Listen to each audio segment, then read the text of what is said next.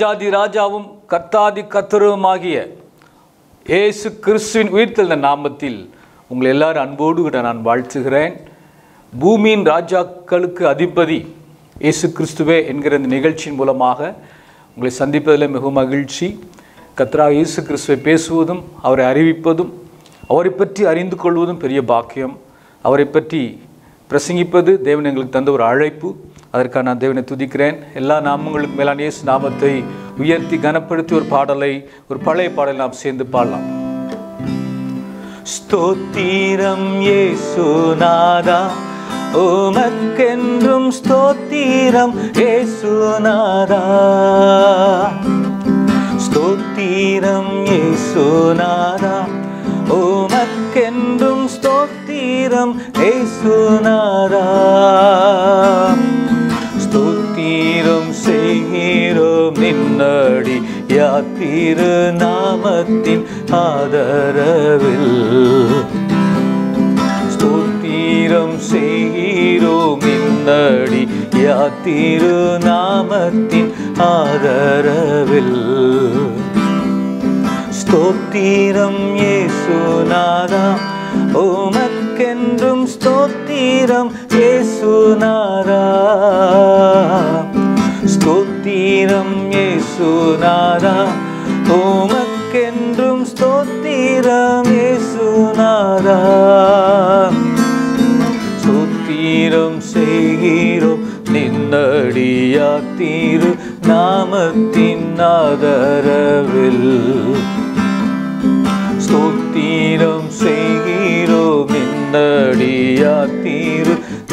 நாமத்தின் ஆதரவில். நீரல்லால் எங்களுக்கு பரலோகில் யாருண்டு ஜீவனாரா? நீரல்லால் எங்களுக்கு பரலோகில் யாருண்டு ஜீவனாரா?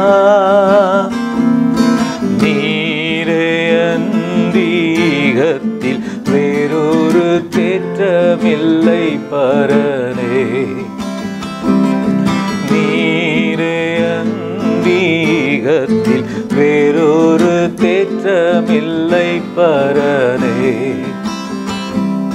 ஸ்தோத்திரம் இயேசுநாதா உமக்கென்றும் ஸ்தோத்திரம் இயேசுநாதா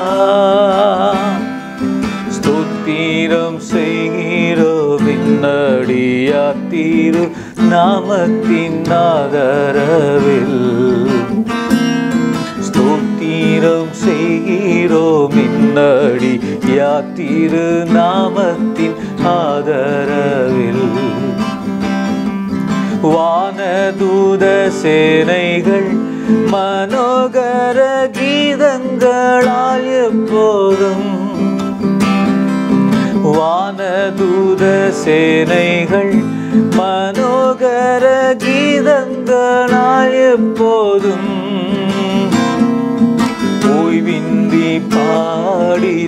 துதிக்க பாப்பெரும் மன்னவனே உமக்கு. ஓய்வின்றி பாடி துதிக்க மாப்பெரும் மன்னவனே உமக்கு. ஸ்தோத்திரம் இயேசுநாதா உமக்கென்றும் ஸ்தோத்திரம் இயேசுநாதா ஸ்தோத்திரம் உமக்கென்றும் ஸ்தோத்திரம் இயேசுநாதா ஸ்தோத்திரம் செய்கிறோம் என்னடி யாத்திரு நாமத்தின் ஆதரவில். ஸ்தோத்திரம் செய்கிறோம் நின்னடி யாத்திரு நாமத்தின் ஆதரவில். எத்தனை நல்லவர்? இயேசு கிறிஸ்து ஆண்டவர். ஏமேன் அவர் நல்லவர் அவர் கிருபை என்றும் உள்ளது. ஆமேன் ஒரு மகிமையின் மேகம் இந்த இடத்தை மூடுதே. ஒரு மகிமையின் மேகம் என் ஜனத்தை மூடுதே. ஒரு மகிமையின் மேகம் இந்த இடத்தை மூடுதே. ஒரு மகிமையின் மேகம் என் ஜனத்தை மூடுதே. விலகாத மேகம் நீ முன் செல்லும் மேகம் நீ. விலகாத மேகம் நீர் முன் செல்லும் மேகம் நீ. ஆவியானவரே அன்பின் ஆவியானவரே வல்ல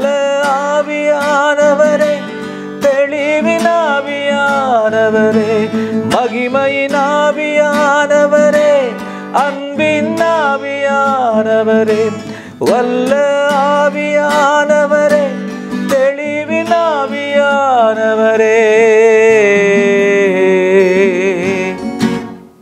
ஒரு மகிமையின் மேகம் இந்த இடத்தை மூடுதே. ஒரு மகிமையின் மேகம் என் ஜனத்தை மூடுதே. ஒரு மகிமையின் மேகம் இந்த இடத்தை மூடுதே. ஒரு மகிமையின் மேகம் என் ஜனத்தை மூடுதே. விலகாத மேகம் நீ முன் செல்லும் மேகம் நீ. விலகாத மேகம் நீர் முன் செல்லும் மேகம்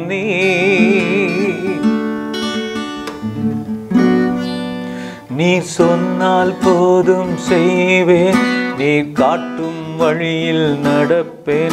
உம் பாதம் ஒன்றை பிடிப்பேன். என் அன்பு இயேசுவே நீ சொன்னால் போதும் செய்வேன். நீ காட்டும் வழியில் நடப்பேன். உம் பாதம் ஒன்றை பிடிப்பேன். என் அன்பு இயேசுவே. இயேசுவுக்கே. ஆராதனை இயேசுவுக்கே. ஆராதனை இயேசுவுக்கே. ஆராதனை இயேசுவுக்கே. எல்லா மகிமைக்கும் கனத்துக்கும் பாத்திரமானவரே. ரட்சகர் இயேசு மகாராஜனே நமக்கு சொத்து பரலோக பிதாவே சர்வலமில் ஆண்டவரே ரட்சகிரேசு இயேசு நாமத்தினால் கோடி ஸ்தோத்திரம். எங்களை மீட்டுக்கொள்வதற்காக எங்களை உங்களுடைய சொந்த பிள்ளைகளாய் மாற்றி இந்த பூமியில் ராஜாக்களாக ஆசாரிகளாக வாழும்படியாக எங்களை நீ முன்குறித்தரே மக்கு நன்றி. இந்த நேரத்தில் பரிசுத்தாவியான் பேசுகிற ஆவியானவரே இந்த மக்களோடு நீங்கள் பேசுங்க. இயேசுவை பற்றி உயர்த்தி காண்பிக்கிற பரிசுத்தாவியானவரே இந்த வார்த்தையின் மூலமாக இயேசுவை அறிந்து கொள்ள கிருபை தாரும். இயேசு கிறிஸ்து நாமத்தில் பிதாவே. ஆமேன். ஆண்டவுடைய பரிசுத்த நாமத்திற்கு மகிமை உண்டாவதாக. பூமியின் ராஜாக்களுக்கு அதிபதி கர்த்தராக இயேசுவே என்கிற இந்த நிகழ்ச்சியின் மூலமாக கர்த்தராக இயேசு கிறிஸ்துவை பற்றிய காரியங்களை நாம் தொடர்ந்து தியானித்து வருகிறோம். இந்த நாளிலும் சில காரியங்களை நாம் தியானம் செய்வோம். இந்த பூமியில் வாழ்கிற நாட்களில் கர்த்தராக இயேசு கிறிஸ்துவின் கிருபையிலும் அவரை அறிகிற அறிவில் வளர வேண்டும் என்று அப்போஸ்தலனாகிய பேதுரு இயேசு கிறிஸ்துக்கா வைராக்கியமாக இருந்த பேதுரு அவர் நிருபத்தில் எழுதியிருக்கு. நம்ம பார்க்குறோம். நம்ம வாழ்க்கையில் நாம் நேரம் எடுத்து ஜெபத்திலும் வேண்டுதலிலும் தரித்திருந்து இயேசுவின் பாதத்தில் அமர்ந்திருந்து வேதத்தை வாசித்து தியானித்து ஜெபித்து ஆண்டவர் நாம் அறிந்து கொள்ள வேண்டும். அவருடைய கிருபை நாம் புரிந்து கொள்ள வேண்டும். ஆண்டவரோடு கூட நாம் நேரம் செலவிடும் பொழுது அவர் வேதத்தை ஆராயும் பொழுது அவர் சமூகத்தில் நாம் இருக்கும் பொழுது பரிசுத்த ஆவியான் மூலமாக நம்முடைய ஆவியில் தேவன் தம்மை வெளிப்படுத்துகிறார்.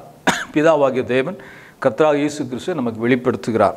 இன்றைக்கும் ஒரு வசனத்தை நம்ம வாசித்து இன்றைக்கு சில காரியங்களை நாம் இந்த குறிப்பிட்ட நேரத்துக்குள்ளாக நாம் தியானம் செய்யலாம். எப்ரேயருக்கு எழுதின நிருபம் எப் பத்தாம் அதிகாரத்தில் பத்தொன்பதாம் வசனத்திலிருந்து இருபத்தி மூன்று வரை நான் வாசிக்கிறேன். ஆகையால் சகோதரரே நாம் பரிசுத்த ஸ்தலத்தில் பிரவேசிப்பதற்கு இயேசுவானவர் தமது மாம்சமாகிய திரையின் வழியாய் புதிதும் ஜீவனுமான மார்க்கத்தை நமக்கு உண்டு பண்ணினபடியால் அந்த மார்க்கத்தின் வழியாய் பிரவேசிப்பதற்கு அவருடைய இரத்தத்தினாலே நமக்கு தைரியம் உண்டாயிருக்கிறது.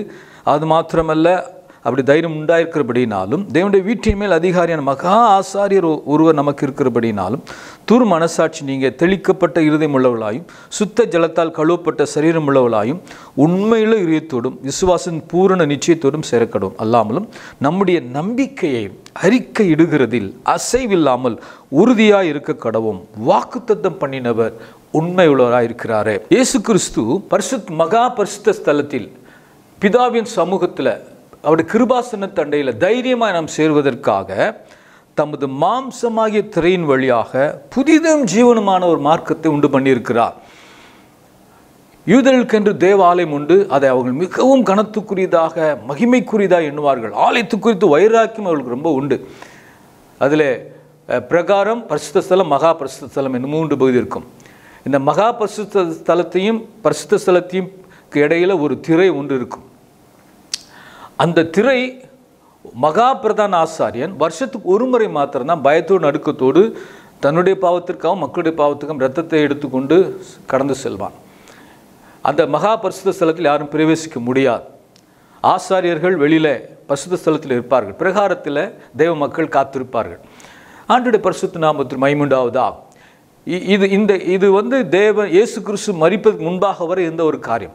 ஆனால் இயேசு கிறிஸ்து முழு மனுக்குலத்திற்காக வெறுமன யூதர்களுக்காக மாத்திரம் இஸ்ரேல் தேச மக்களுக்காக மாத்திரமல்ல முழு உலகத்துள்ள ஜனங்களை மீட்டுக்கொள்வதற்காகவும் முழு உலகத்தில் மக்களும் கிருபாசன தண்டை அந்த மகா பரிசுத்த ஸ்தலத்தில் தைரியமாய் பிரவேசிப்பதற்காக மாம்சமாகிய தன் திரையின் வழியாக அவர் என்ன செய்யிருக்க புதிதும் ஜீவனுமான ஒரு மார்க்கத்தை உண்டு பண்ணியிருக்கிறார். இயேசு கிறிஸ்து இந்த உலகத்தில் மனித அவதாரம் எடுத்து வந்த நோக்கத்தையும் அவர் பூமியில் வாழ்ந்த காலத்தில் மூன்று ஆண்டுகள் ஊழியம் செய்த அந்த காரியங்களையும் நாம் பார்க்கும் பொழுது இறுதியாக முழு மக்களுக்காக முழு மக்களுக்கு ம- ம- முழு மக்கள் மக்கள் வாழ்க்கையை மாற்றுவதற்காக அவருடைய வாழ்க்கையில் ஒரு விடுதலையை புது ஜீவனை புது வாழ்க்கை தருவதற்காக மனுமக்கள் மேல் இந்த ஆக்கினை தண்டனையை ஏற்றுக்கொண்டார். எல்லா பரிகாரத்தையும் அவர் சிலுவையில் செய்யும்படியாக தன்னை ஜீவபலியாக ஒப்பு கொடுத்தார் இப்படிப்பட்ட காரியங்களை எல்லாம் நினைத்தால் அந்த கல்வாரின் அன்புக்கு நம்மை அர்ப்பணிக்காமல் இருக்கவே முடியாது. கத்துடைய பரிசுத்த நாமத்தில் மைமுண்டாவதாக தேவனுடைய பிரதானமான நோக்கம் அஹ், யோவானின் சுவிசேஷம் பதினான்காம் அதிகாரத்தில் நம்ம இப்படி வாசிக்கிறோம். தோமா இயேசு கிறிஸ்து நோக்கி சொல்கிறார் ஆண்டவரே நீர் போகிற இயேசு முதல்ல சொல்கிறார் நான் போகிற இடத்தை அறிந்திருக்கிறீர்கள் வழியையும் அறிந்திருக்கிறீர்கள் என்றார். தோமா அவரை நோக்கி சொல்கிறாரு ஆண்டவரே நீர் போகிற இடத்தை அறியோமே வழியை நாங்கள் எப்படி அறிவோம்? என்று சொல்லு அப்போ அதற்கு இயேசு நானே வழியும் சத்தியமும் ஜீவனமாக இருக்கிறேன். என்னாலே அல்லாமல் ஒருவனும் பிதாவிடத்தில் வரான். தேவனுடைய பரிசுத்த நாமத்து மயம்டா பொதுவாக இந்த சுவிசேஷம் வரைக்கும் பொழுது நல்ல செய்தி சொல்லும் பொழுது சொல்லுவாங்க இயேசுவே வழியும் சத்தியம் ஜீவமாக இருக்கிறார்.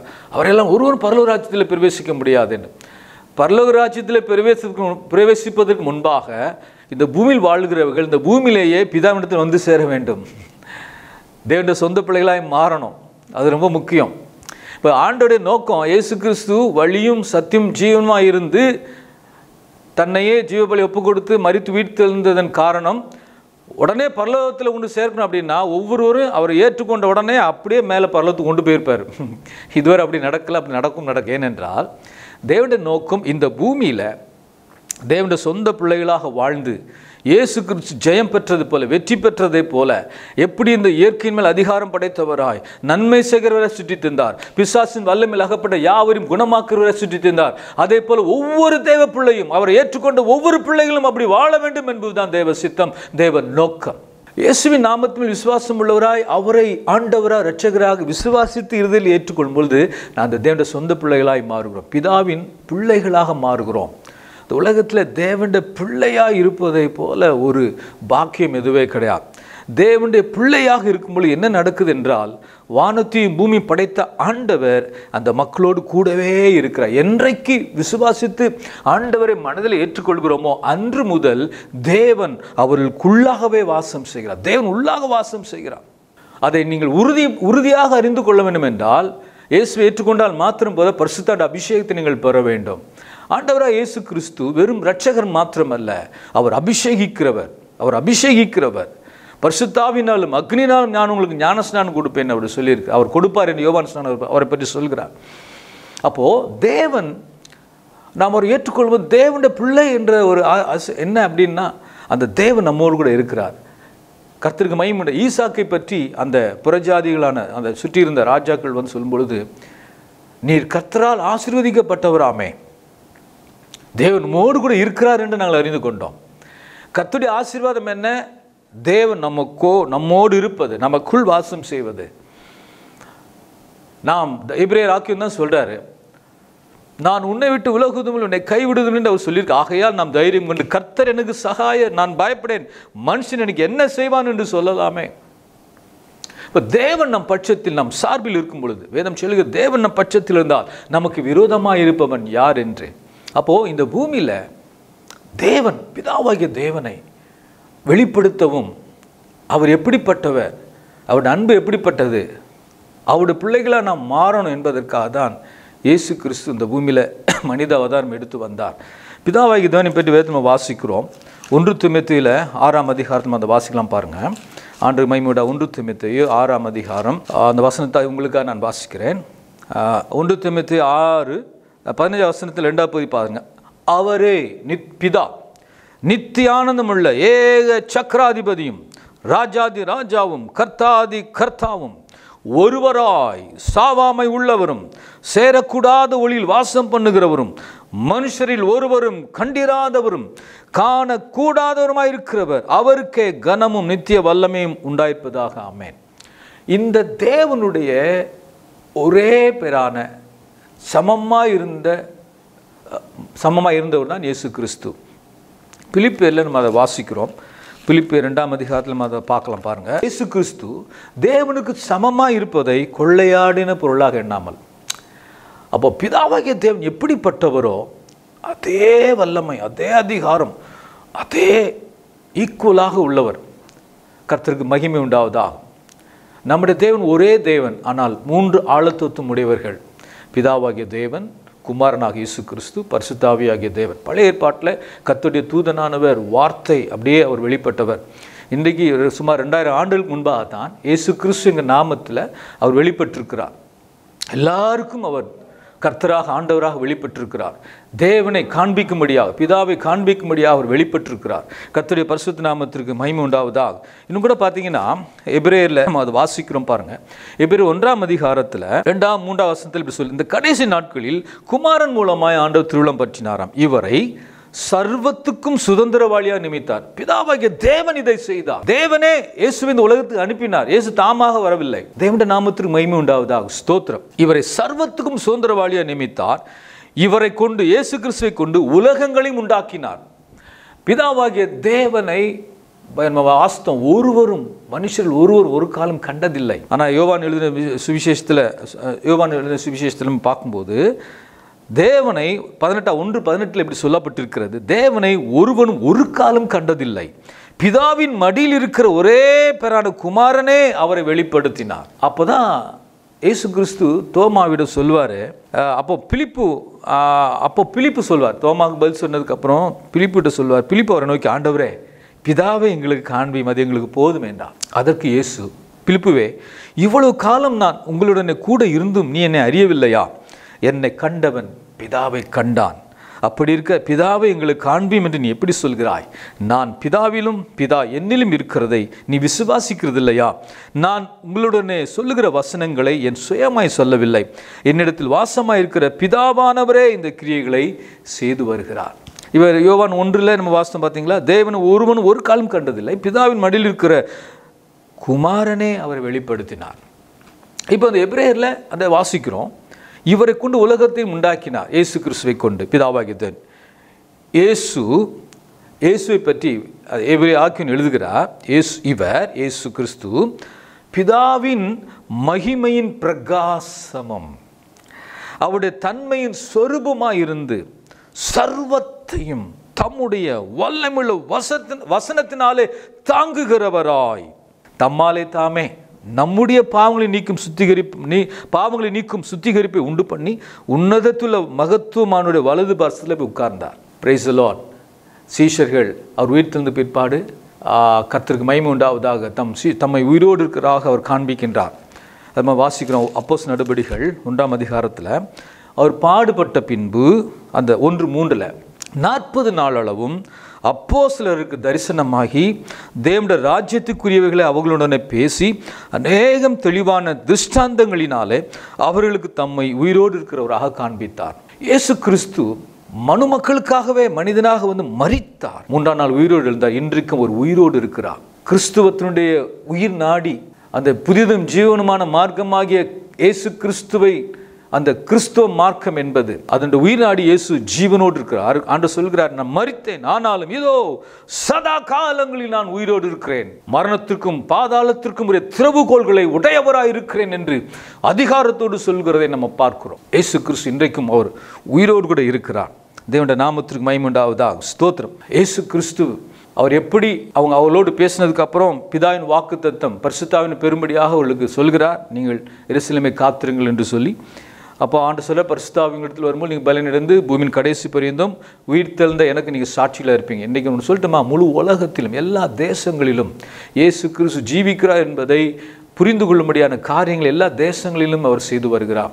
ஆண்டோட நாம இயேசு உயிர்த்தெழுந்த ஆண்டு என்பதற்கு சாட்சியாக ஆண்டோட பரிசுத்த நாமத்திற்கு மைமுண்டாவதாக பூமி பூமியின் கடைசி பரியந்தம் எனக்கு சாட்சிகளாக இருப்பீர்கள் என்று சொன்னார்.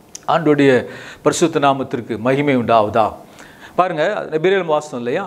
அவர் தம்முடைய வார்த்தையினால தம்முடைய வல்லமில் வசனத்தினால சகலவற்றையும் தாங்க இதை குறித்து நீங்கள் யோசித்து பார்த்தீங்கன்னா ஆண்டவருடைய வார்த்தைகளை குறித்து நாம் ரொம்ப நம்ம அந்த அந்த தேவனையும் அந்த வார்த்தைகளை விசுவாசிப்பதை குறித்து நான் ரொம்ப கவனமாக இருக்கணும். என்னால் ஏனென்றால் வேதம் சொல்லி விசுவாசம் இல்லாமல் ஒருவனும் தேவனுக்கு பிரியமாக இருப்பது கூடாத காரியம். விசுவாசம் இல்லாமல் கத்தரை பிரியப்படுத்தவே முடியாது. தேவன் தேவன் உண்டென்றும் அவர் தம்மை தேடுகிறவர்களுக்கு பலன் அளிக்கிறவர் என்றும் விசுவாசிக்க வேண்டுமா இயேசு கிறிஸ்துவை தேடும் பொழுது அவர் மேல் விசுவாசித்து அவருடைய பாதத்தில் இருந்து அவரை நோக்கி பார்க்கும் பொழுது எல்லா காரியத்திற்கும் எல்லா தேவைகளுக்காகவும் அவரை ஏனோ நாம் நோக்கி பார்க்கும் பொழுது நிச்சயமாக அவர் அற்புதமான அதிசயமான காரியங்களை செய்கிறார். ஆண்டுடைய பரிசுத்த நாமத்திற்கு மைமுண்டா தம்முடைய வல்லமில வசனத்தினால் சகலம் தாங்குகிறவரா? அதில் தாங்குகிறார் என்று தமிழில் ஒரே ஒரு வார்த்தை தான் போடப்பட்டிருக்கு. ஆனால் இங்கிலீஷில் பார்த்தீங்கன்னா அவ்வளோ நாலு வார்த்தையில் போட்டு அப் அப்ஹோல்டிங் மெயின்டைனிங் அப்புறம் ப்ரொப்பல்லிங் அப்படிலாம் போடப்பட்டிருக்கு. கத்திற்கு மைமுண்டாவதா ஸ்தோத்திரம். இப்போ நிறைய கா ஒரு வார்த்தை தான் ஆண்டு பேசினார். அந்த வார்த்தையின் வல்லமை அந்த வசனம் இந்த முழு இந்த ஹோல் யூனிவர்ஸ் முழு உலகத்தையும் முழு உலகத்தையும் அது தாங்கி கொண்டிருக்கிறது. ஆண்டோட வார்த்தைக்கு அவ்வளோ வல்லம் இருப்பாங்க இயேசு கிறிஸ்து எப்படிப்பட்டவர்? அன்றைய சீஷர்கள் ஆச்சரியத்தோடு சொன்னார்கள். இவர் யாரோ? இவர் எப்படிப்பட்டவரோ? காற்றும் கடலும் இவருக்கு கீழ்ப்படுகிறதே. பிரைசலோ கத்துடைய பரிசுத்த நாமத்திற்கு மகிமை உண்டாவதா ஸ்தோத்திரம். ஏசு கிறிஸ்துவை ஏற்றுக்கொண்டு நீங்கள் அவரோடு டைம் எடுத்து பழகணும் அவரை குறித்து அறிந்து கொள்ளணும். அவரை அறிய அறிய அவருடைய அன்பை அவருடைய தயவு அவருடைய காரணத்தை கிருபைகளை இரக்கங்களை ஆண்டுடைய பரிசுத்த நாமத்திற்கு மைமுண்டாவதா ஸ்தோத்திரம். இந்த தேவனை விசுவாசத்தினால் நாம் ஏற்றுக்கொண்டு அவர் எப்படி இந்த பூமியில உலகத்தை ஜெயித்தார்? அனு சொன்னார் உலகத்தில் உங்களுக்கு உபத்திரம் உண்டு. ஆனாலும் திடன் கொள்ளுங்க நான் உலகத்தை ஜெயித்தேன். உலகம் மாமிசம் பிசாசு ஜெயித்து வெற்றி வேந்தராக வெற்றியாளராக அவர் ஜெயித்தார். காரணம் என்ன? அவருக்காக அவர் ஜெயிக்கல நமக்காக தான் ஜெயித்தார். மனித அவதாரத்தில் இருந்து கொண்டு. ஏனென்றால் மாம்ச அவதாரத்தில் இருக்கும் பொழுதுதான் மனிதனுக்குரிய ப்ராக்டிக்கலான அனுபவ ரீதியான பலகீனங்கள் என்ன வேதனைகள் என்ன அவனுடைய காரியங்கள் என்ன என்பதை அப்போ தான் புரிந்து கொள்ள முடியும். ஆகவே தான் இந்த பூமியில் அவர் வந்து மனிதர்களுக்குரிய நம்மை போலவே என்னப்பட்டார் பைபிளில் வாசிக்கலாம் பாருங்கள் எபிரேயர் ரெண்டாம் அதிகாரத்தில் பதினேழு பதினெண்டு வாசிங்க. அன்றியும் அவர் ஜனத்தின் பாவங்களை நிவர்த்தி செய்வதற்காக தேவ காரியங்களை குறித்து இரக்கமும் உண்மையும் உள்ள பிரதான ஆசாரியராக இருக்கும்படிக்கு எவ்விதத்திலும் தம்முடைய சகோதரருக்கு ஒப்பாக இருக்க வேண்டியதாக இருந்தது.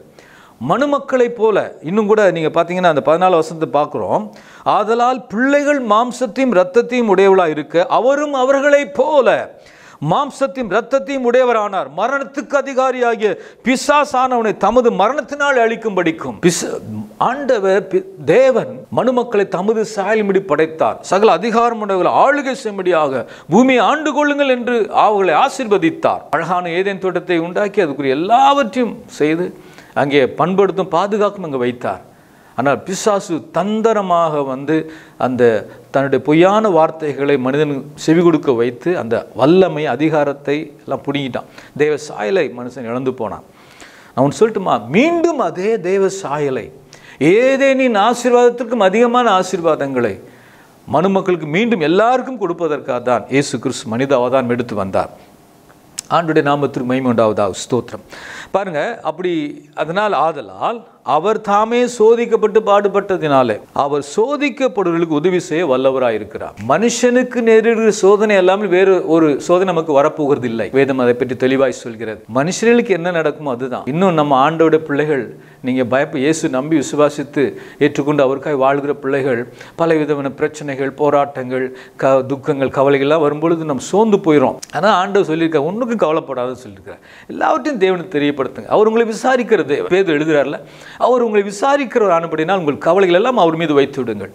பாடுகள் கஷ்டம் உபத்திரவங்கள் இதெல்லாம் எதற்காக வருகிறது என்றால் அதில் நாம் ஜெயிக்கணும் வெற்றி பெறணும். பாருங்க அவர் பாடுபட்டு சோதிக்கப்பட்டதுனாலே நமக்கு உதவி செய்ய அவர் வல்லவராக இருக்கிறார். நம்முடைய திராணிக்கு மேலே சோதிக்கப்பட ஒரு நாள் இடம் கொடுக்கவே மாட்டார். நம்முடைய தம்முடைய பிள்ளைகளுக்கு எது முடியும் அதைத்தான் அவர் அனுமதித்து நான் அவருடைய நோக்கம் தேவனுடைய நோக்கம் என்ன என்றார் நாம் ஒவ்வொருவரும் நமக்குள் இயேசு உருவாக வேண்டும். அவரை போல் இந்த பூமியில் வாழ்ந்து காமிக்கிறார் அவர் எப்படி வாழ்ந்தாரோ அவருடைய பரிசுத்த அடிச்சுவடை பின்பற்றி அவரை போல் வாழ்ந்து அவருக்கு சாட்சியாக நம்ம இருக்கணும். இயேசு கிறிஸ்து சவாலாக ஒரு வார்த்தை சொல்லி என் வாழ்க்கையில் அந்த வசனத்தை நான் மறக்க முடியாது.